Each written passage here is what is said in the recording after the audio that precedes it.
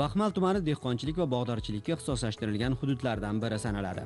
Tumanda nafaqat agrar soha vakillari shuningdek aholi ham tomorqalarida turli xil qishloq xo'jaligi mahsulotlarini yetishtirib soha rivojiga salmoqli hissa qo'shib kelmoqda. Ayni vaqtda baxmal tumanida 26 mingdan ziyod xonadon mavjud bo'lib tomorqa maydoni 5328 gektarni tashkil qiladi. Fermer dehqon xo'jaliklari va aholi tomorqa yer egalari tuman kengashining ma'lumotlariga qaraganda joriy yil bahorgi mavsumda aholiga tegishli 3088 gektar tomorqa maydonlariga ertagi qishloq xo'jaligi mahsulotlari ekish ishlari yakunlangan.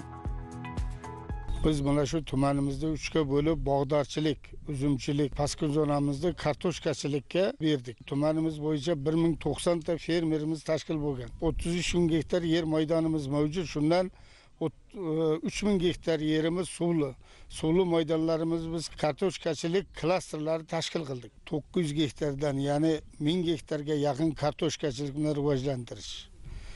E, sakkiz yuz yigirma besh gektar yerga do'kakli ekinlar bilan.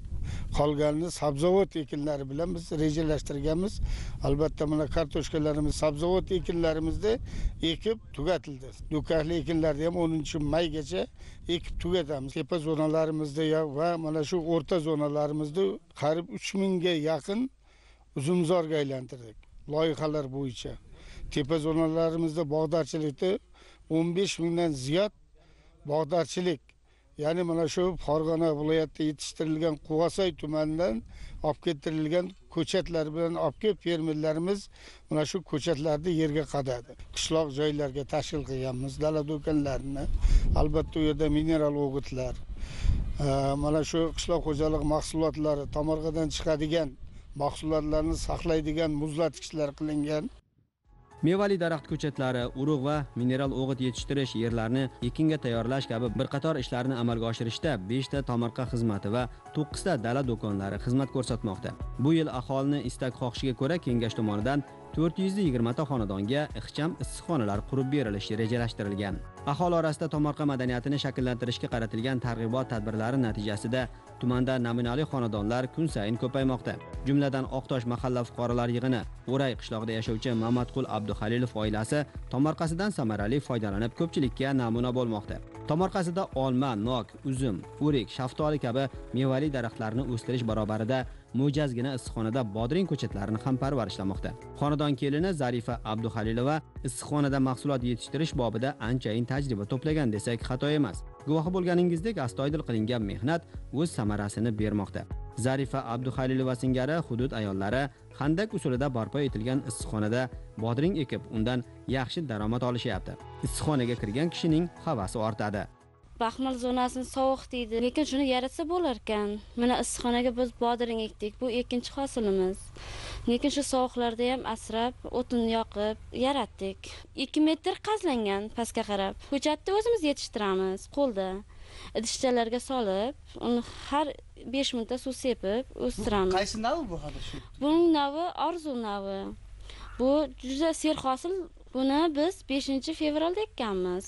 Bir oydan keyin bu hosil bera boshlaydi. O'rta me'yorda besh tonnalar olamiz. Tubidan besh kilodan to'rt kilodan shunday chiqadi.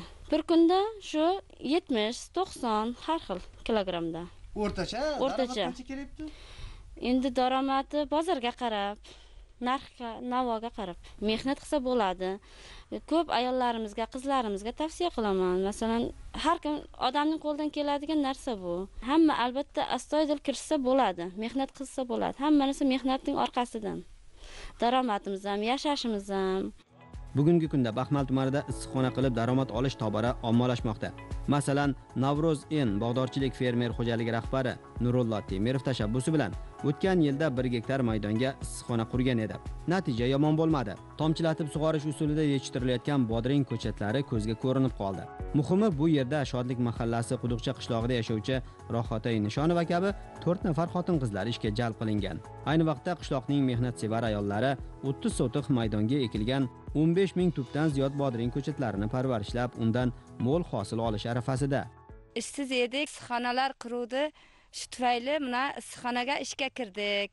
Bodring ekdik. Mana bodringga mehr berib qarayapmiz. Necha kishi ishlayapti issiqxonada to'rt kishi bo'lib ishlayapmiz.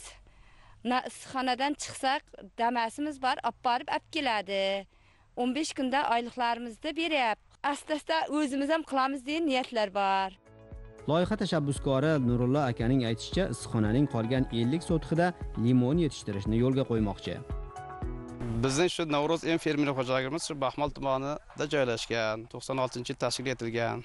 Bog'dorchilik bilan shug'ullanamiz sabzavotchilik bilan shug'ullanamiz. Mana bu yil xudoga shukur ko'p yilda yig'ilganlarimizning hisobidan bu yil shu tajribalarimiz hisobidan bu yil mana shu E, fermer xo'jaligimizda shu issiqxona qilish tashkil etdik. Shu yerda kam ta'minlangan oilalar ish bilan ta'minlashdi. E, rejaligimizga kiritganmiz. Mana shu bu yil e, yanvar oyida boshlagan bo'lsak bu ishimizni mana shu hozir mart aprel oyiga kelib mana 50 sotik joyni tayyorladik.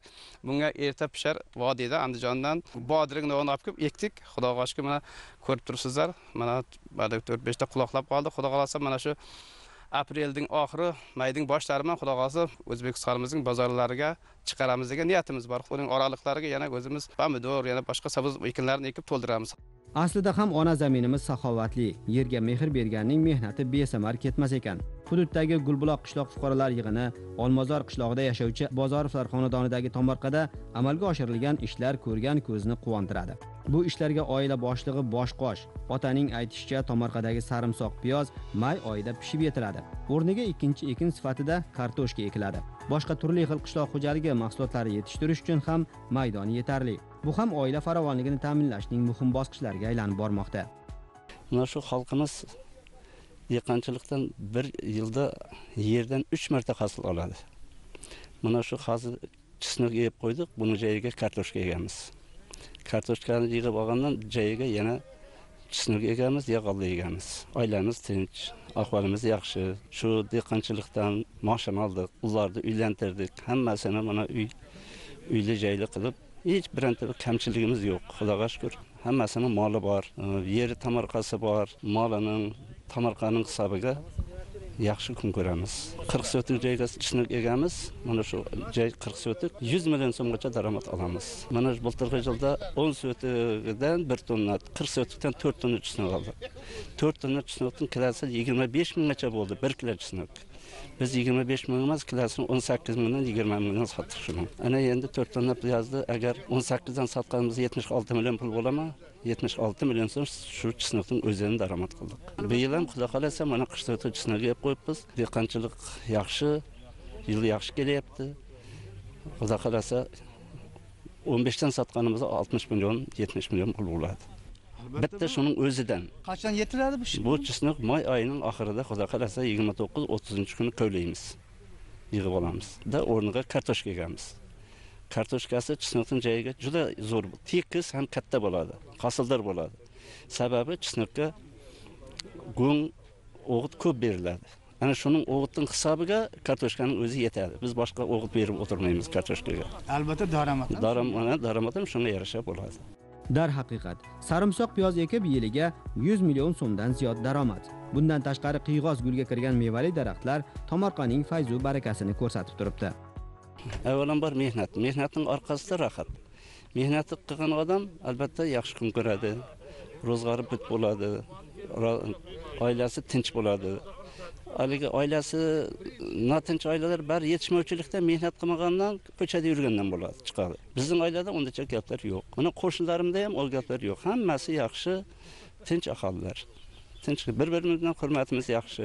Bizda yerni albatta to'yintiramiz. Bizning o'zimizda texnika yetarli. Mana belarus mtz sakson traktorim bor. Motobloklar mana shu chisnoqning orasini qirqlikqa egamizmi yetmishlikka egamizmi shunga qarab kultivatsiya qiladigan apparat yasab olganmiz ish unumlarini oshirish uchun ana shu bilan ish qilamiz. To'rt o'g'limning to'rt kelinim bor. Nevaralarim ham hammasi bir ikkitasi uyli joyli bo'ldi qolgani shu yerda. o'n sakkiz yigirma bir xillari maktabga o'qiydi.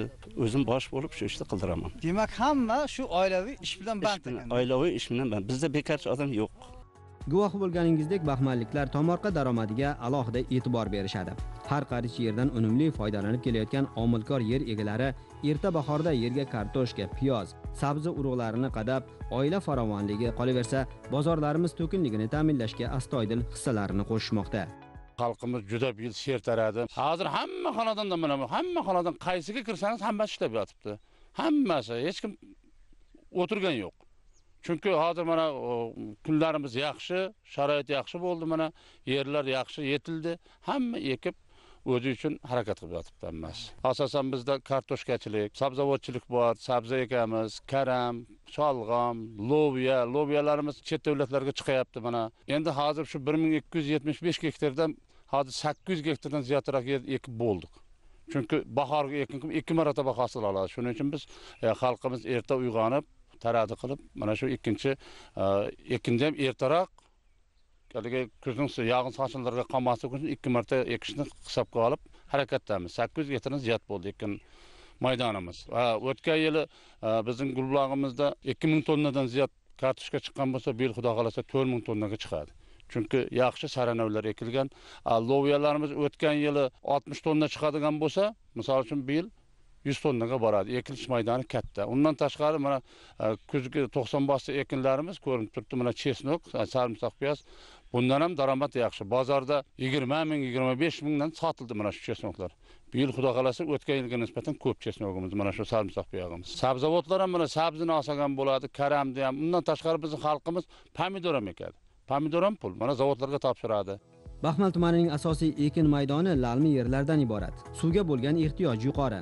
Aynan suvning tanqisligi qishloq xo'jaligi mahsulotlarini yetishtirishda anchayin qiyinchilik tug'diradi. O'zbekiston respublikasi vazirlar mahkamasining suv ta'minoti og'ir bo'lgan hududlardagi aholi tomorqalari va qishloq xo'jaligida foydalanilmayotgan yer maydonlariga suv chiqarish ishlarini davlat tomonidan qo'llab quvvatlash chora tadbirlari to'g'risidagi qaroriga asosan tumanda 818 million so'm subsidiya mablag'i evaziga yettita katta hajmdagi artizan quduqlari ishga tushirildi.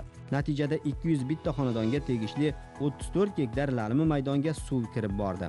O'smat shaharchasiga qarashli yangi hayot qishlog'i aholisi bugun davlatimiz tomonidan ko'rsatilgan bu e'tibordan benihoya mamnun. Yer maydonimiz 100% lalim edi. Fermerlar kengashining ko'magi bo'ldi. Bizga berilgan ma'lumoti tavsiyanomasi bo'ldi. Biz shuni harakat qildik. Mana xudoga shukur. Artizan kazitdik. Artizanimiz bir yuz sakson millionga tushgan bir yuz yigirma million so'mni subsidiya davlat berdi. Mana shu artizanimiz bir soatda oltmish tonna suv chiqaradi. Aholi bundan juda mamnun. Hamma aholi qimirlab qoldi ko'chat ekyapti pomidor bolgariskiy shu nima ko'chat qulay bo'lsa o'shani ichki bozorga yetkazib beramiz xudo xohlasa. Men o'zim juda xursandman. Shu lalimizdan ham shunchalik suv berar ekan. Xuddi buloqdan chiqqanday chiqyapti mo'jizada endi mo'jiza. Buni ta'riflash qiyin suvi tanqis bo'lgan joylarimizda aholi tomorqalarga o'ttizta aholini oilani biriktirib bizlar artezan quduqlariga subsidiya olishini ya'ni davlat tomonidan o'sha qazilgan yetmish foizini to'lab beraman degan subsidiyalarni tumanimizga tushirib berdi. Mana bizni xalqimiz elimiz juda xursand. Xudo xohlasa mana eng bir lalimi suvi tanqis suv bormaydigan joylarga biz komissiya bilan borib ko'rib haqiqatdan o'sha yerga kerak bo'lsa o'sha yerga artizan qazib beryapmiz. Albatta amalga oshirilgan ishlar aholi bandligini ta'minlash barobarida mamlakatimizda oziq ovqat xavfsizligini ta'minlashda muhim o'rin tutadi. Guvohi bo'lganingizdek baxmalliklar uchun tomorqa asosiy daromad manbai hisoblanadi. Bugun dehqon mehnati haq huquqlari o'zbekiston respublikasining tomorqa xo'jaligi to'g'risidagi hamda yangi tahrirdagi dehqon xo'jaligi to'g'risidagi qonunlar bilan himoyalangan. Bu qonunning imzolanishi asosan yerdan samarasiz foydalanishni oldini olish yangi mahsulot turlarini ko'paytirish hamda e, oziq ovqat xavfsizligini ta'minlash maqsadida ham e, bir qancha e, ishlar rejalashtirilgan.